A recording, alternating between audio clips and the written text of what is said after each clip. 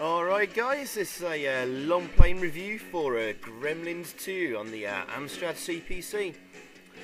This was one of my favourite movies growing up as a kid. I used to watch it loads and loads and loads. But uh, I never knew the game existed for the Amstrad. Up until recently. I don't think it um, did uh, sold very well, or certainly I don't remember it being in, on sale in the shops for the Amstrad. I think maybe Elite Systems who uh, marketed the game probably mucked up the marketing quite a bit. I do remember it for other systems though, like uh, I remember I remember I had the Game Boy version, which is a really good platformer. And I think it did alright on the Amiga and stuff. I just, uh, I, just I didn't, didn't even know this game existed for the Amstrad. But it's also there for the Spectrum and Commodore, and we'll come on to that later. Rather nice title screen there. No music though. And yep, you find there's no music in game either, which is a shame because the uh, soundtracks are rather good. Do you know what? I think I'll stop that up again in the background because um, that's, that's some really good stuff.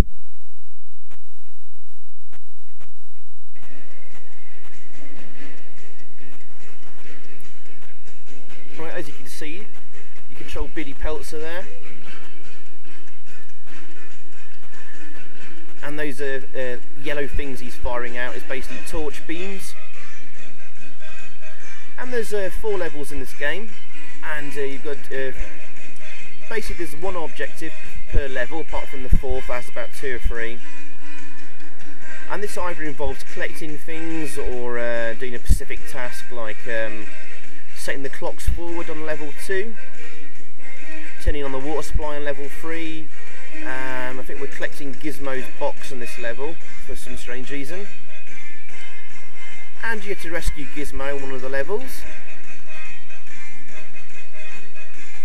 And then uh, on the last level we've got to find the Electro Gremlin and find the fire hose. Which follows the plot of the movie because that's how they uh, get rid of the gremlins at the end. They lure him into the lobby of the um, uh, Tower Blocker Plaza, whatever it is it's called. They spray him with water and then fry him with the uh, electro gremlin. Now as you can see it's got lovely colourful graphics. Perhaps a touch uh, blocky. And there's lots of different gremlins you're fighting against there. Now those yellow beams uh, that are firing out, they're, they're beams of um, Billy's torch.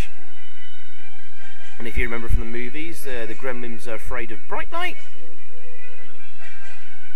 So basically, uh, Billy's killing them with his torch.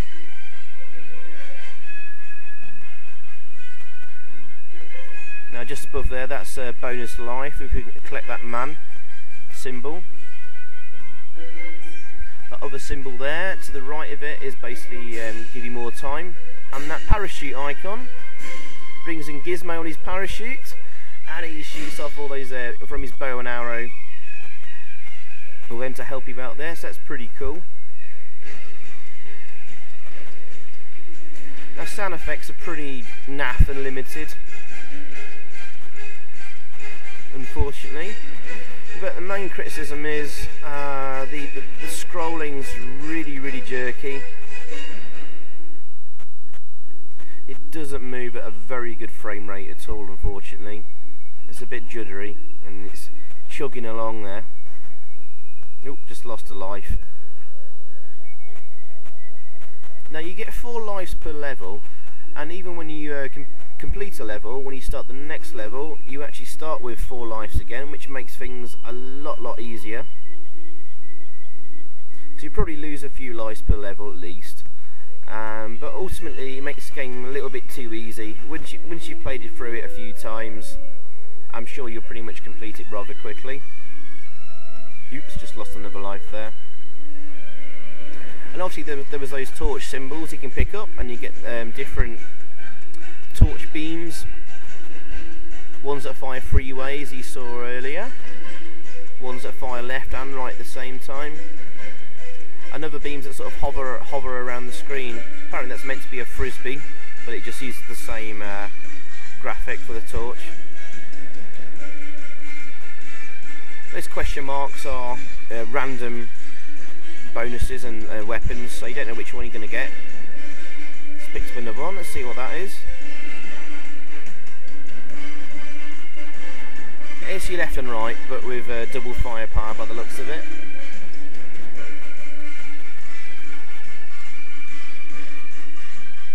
But yeah, with a lot of sprites on the screen as well, it, it gets even more chuggy. That icon right at the top of the screen, that's the super torch. Ah, which is basically a freeway. that's pretty cool in the background there. guy dangling off there, the gremlin atop him. You're not meant to do anything there, it's just it's just decoration in the background. There's some nice touches in this game.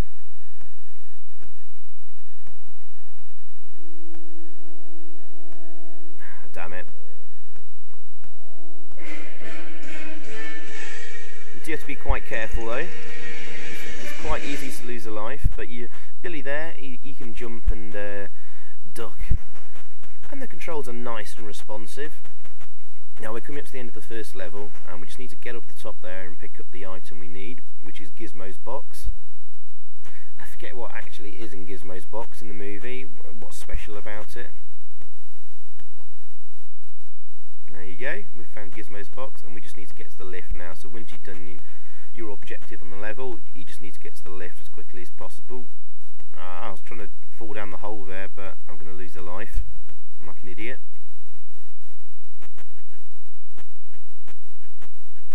Got no lives left, but we can just make it in time to the lift. And then next level, we get four lives again. Hey!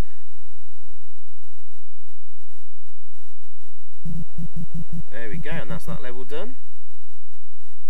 On to uh, level 2.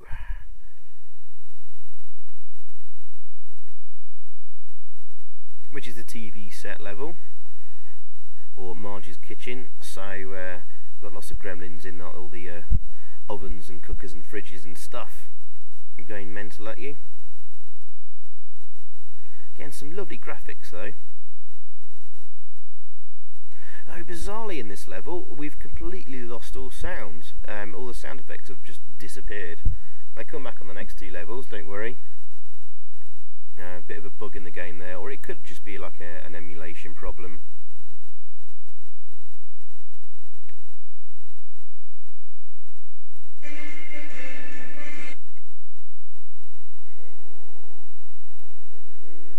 Right, you need to try and jump on those TV uh, cameras that are sort of floating around. That can be a real pain in the arse to jump on properly.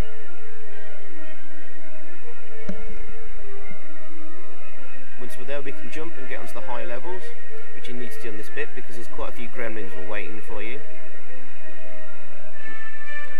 You easily lose a life. There's a smoking gremlin that always pops up just there and like a red gremlin that appears in the right there above the cooker. Get cornered. There he is. Get cornered quite easily. Ah, oh, a smoking gremlin appeared again and I lost a life.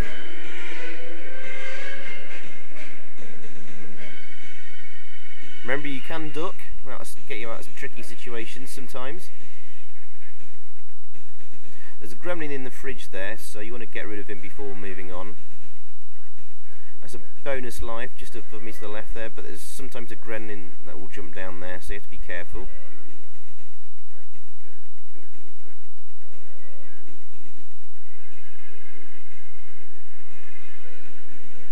It's just a bit of a shame about the chuggy scrolling.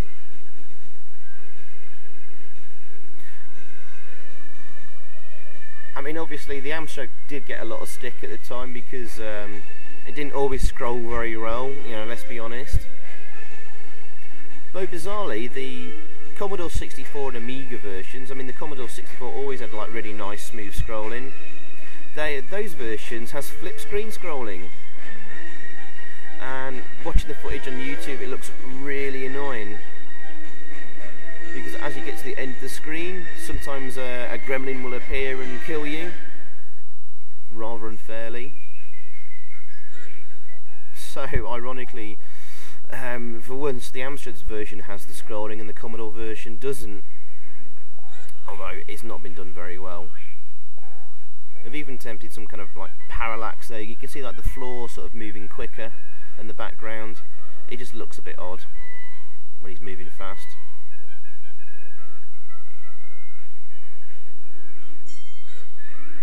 But this is uh, fairly close to the uh, Spectrum version, so it looked like it looks like both Spectrum and Amstrad versions were developed at the same time using similar code. And whilst the Amstrad has, um, you know, up, it has it up on the Spectrum in terms of the nice graphics and stuff, Spectrum version does move a lot smoother and faster. I have to say though, the, the graphics on the Commodore 64 version are really good. You certainly see a lot more character in the faces and stuff of the gremlins. The Amstrad gremlins tend to be a little bit sort of blocky. I apologise, there's going to be a couple of bits here where it gets a bit boring while I'm trying to jump on that sodding camera there and keep keep mistiming it.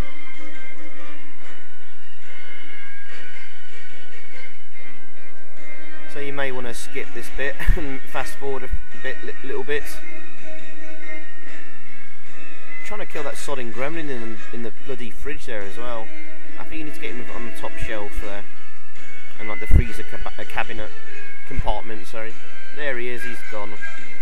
Now we just need to get on that bloody camera. So you can't walk past that fridge. Yep, stops you there, you see. And you can't jump over it, so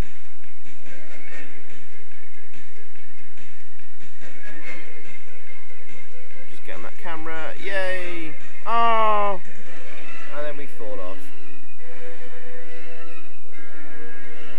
Now, Gremlins, the original film, did have a um, did have its own game on the Amstrad, but it's um, it was only a text adventure with a few pictures.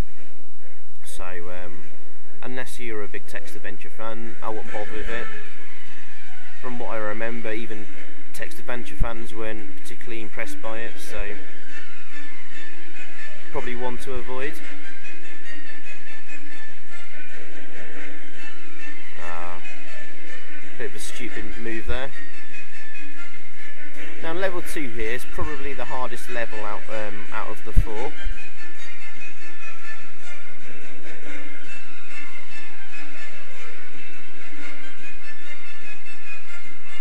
Just seem to throw a lot more uh, bad guys at you few more trickier sections. Level 3 thankfully is quite short, but features like an awesome fight against a giant boss, which you'll see. Well, it's not that awesome, but, you know, you, well, anyway, wait and see. Oh yeah, guys, there is a nice ending to this game as well.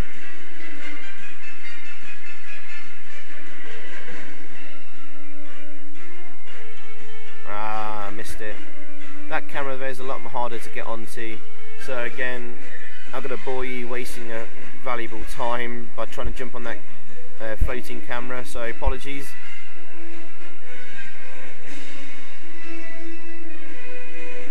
Right cool we got rid of that gremlin. I'm just hoping that camera will float down just as I'm jumping up. Ah damn it. So we'll try going back up the uh, steps there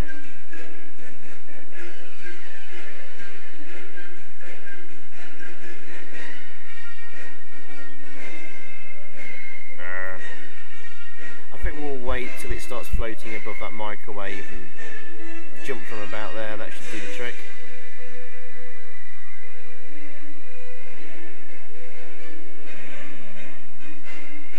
Ah.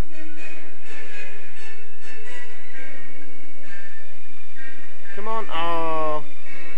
Sorry guys. Anyway, this is the more boring bits of the game, so let's just get through them. To watch, so bear with me, sorry.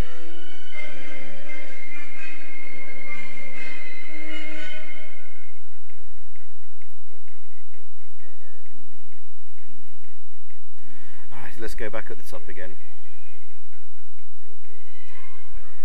The controls are, you know, fairly decent responsive. Oh, I've done it again.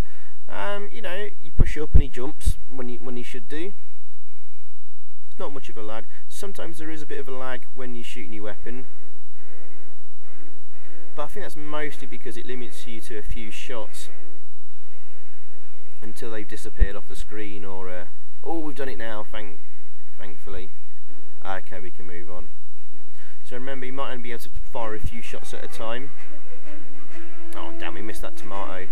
The collision detection's a little bit mm, suspect at times jump right through that bloody tomato to pick up the tomato weapon and remember just watch out for the gremlins sort of dropping off down from the top of the screen. They will drop right on top of you. Hey, there we go. We've set the uh, clocks forward, and that basically will, in the movie, it fools the gremlins into thinking it's uh, night time still. And the plan was to uh, get them all in the lobby and uh, bring down the curtain that's covering the uh, the windows and let them get them fried in the sunlight because sunlight and bright light kills gremlins, of course.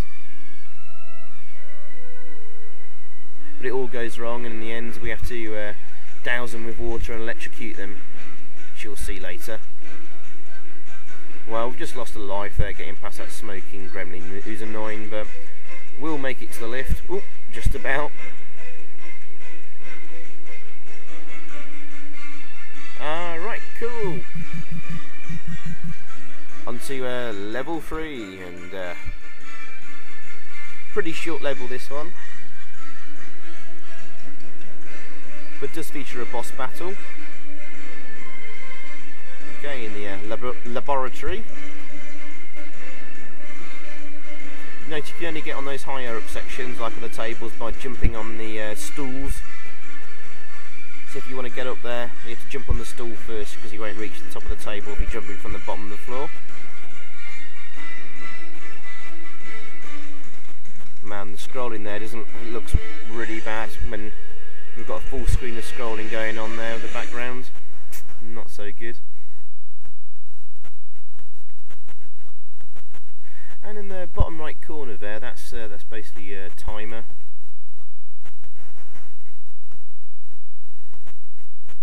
I'm not sure. Um, I'm not sure when it is that you run out of time. Is it when it's a full, when it's fully uh, night or fully day? I'm not sure. I think I've usually uh, lost a life before it's uh, ran out.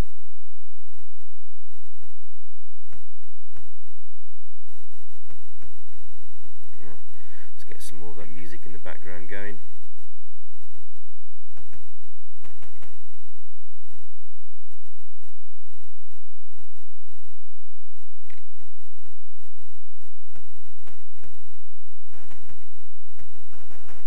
Oh, I've lost it.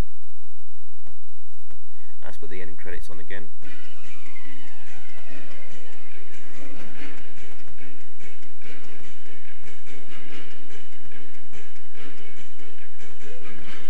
Extra life there. but I lost a life trying to get there.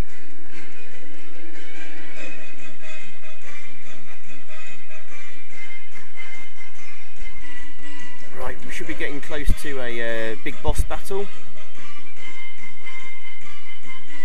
I think it's after this next sort of uh, desk section. Oh, there's a parachute icon. Gizmo will come and help us out now. Hey, there's little Gizmo. Moving a little bit too fast for him though. Oh, there's the object we're going here. Found the water supply, so we've turned back on the water supply so we can hose down the gremlins at the end. There it is spinning away. Nice. Aha, here's the lift. And onto a uh, boss subsection.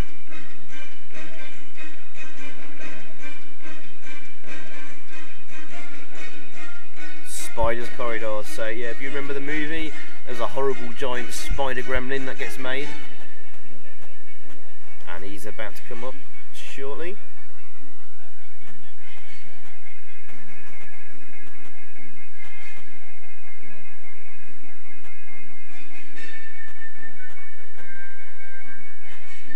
Oh, there's a girl gremlin. She blows uh, kisses and hearts at you, which you have to avoid.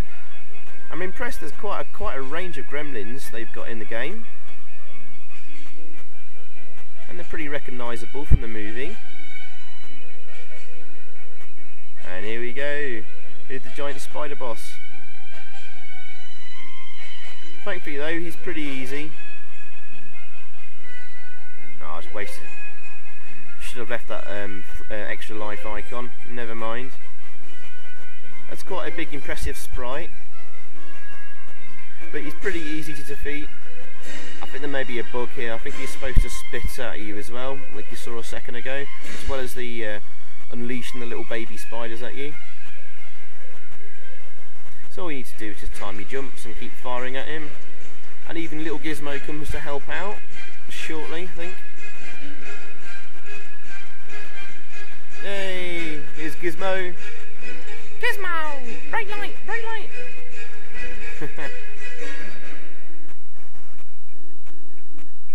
Things beginning to slow down a little bit there.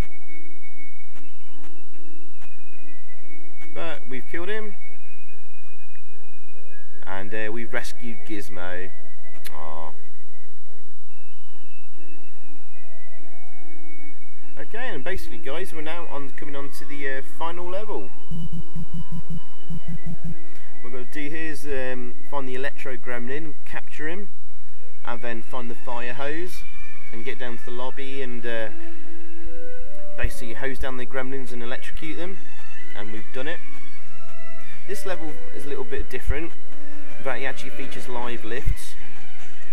Here's the first lift, and you do, and you need to go up there, I think. Wait for the door to open and hit the fire button.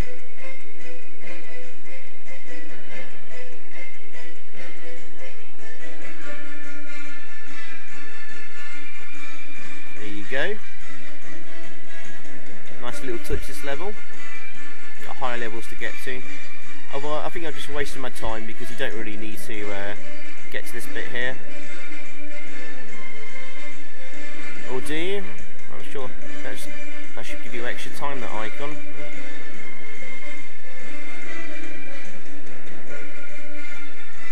But anyway, as you can see, they're just above me.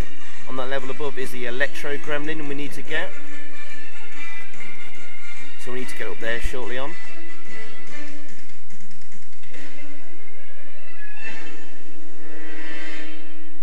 And don't jump from any of these sections and fall down because uh, reaching that lower level will kill you. Oh, sorry guys.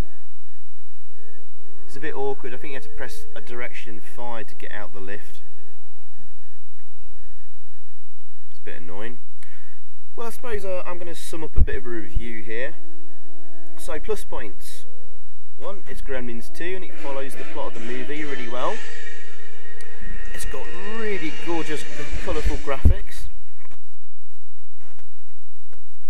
Difficulty level's probably spot on, but after you've played it a few times, I'm sure you'll complete it. And uh, controls responsive enough. What else to mention? Um, it's got a bit of a variety in levels. It's got an and and uh, well, it's got a, a boss fight at least and it's got an, it's got a decent ending as well for an 8-bit home computer game. Negative points, oh man, the really poor scrolling really lets the game down quite severely. It's also a little bit too slow. But, um, oh, there's another plus point. Uh, the animations are not too bad. And there's a great variety in the Gremlins as well. All the Gremlin characters from the movie are there, which is pretty cool stuff. Back onto the negatives. We've got no music whatsoever. Grr. Jerry Goldsmith's score was really excellent, which you, you're hear, hearing in the background here. And sound effects are just really limited, just a, noises. Oh, uh, uh, the weapons are pretty good though. Nice variety in them. Um, so yeah, back to negative. So yeah, we got the poor scrolling, uh, slow gameplay, suspect collision detection at times as well, and it's rather short. It seems initially overly difficult, especially on level two, but you're given a real helping hand by gay basically getting four lives per level each time. So, overall, I'm hovering between a 6.5 out of 10 or a 7 out of 10. I think, guys, I think I'll have to go for a 6.5 out of 10. Because it's not amazing stuff.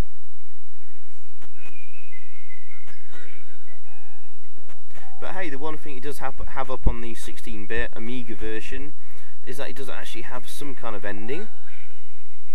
The Amiga version just gives you a uh, one static screen with like you've completed the game. Here we actually get a little bit of animation of the gremlins dying, so wait and see for that. Although remember guys, the Commodore 64 version's only got flick screen scrolling like the Amiga uh, which is a massive downside in my book because it leads to lots of unfair de deaths. Oh yeah, you lose a life from jumping too far. So I don't know. I mean, the Spectrum version's probably got the uh, probably a little bit up on the Amstrad version, maybe because it's a little bit smoother and plays a little faster. But the Amstrad's got the gorgeous graphics. Anyway, I've talked enough about the other versions. We've just got one more lift to go up in. And watch out because a gremlin might drop down from where I'm standing.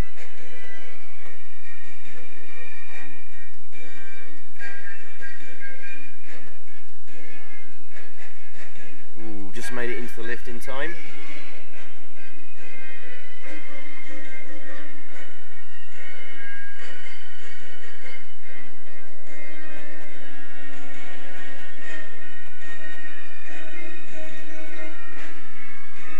Just noticed something actually. If you know your Amstrad stuff, it looks like that top Gremlins 2 title bar, the Gremlin uh, the Gremlin faces. That looks like that's been done in uh, mode 1, and then the rest of the game in mode 0. Just in string, looks like a split mode system. So if you like your, your geeky programming stuff, thought I'd add that in there. And here we are, this is the end of the game.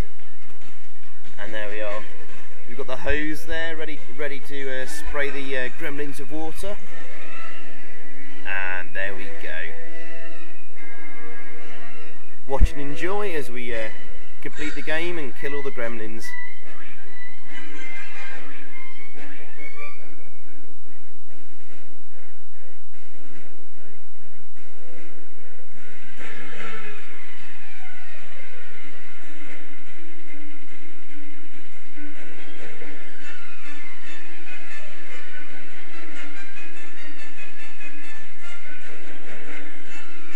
Right, I think we've soaked them enough.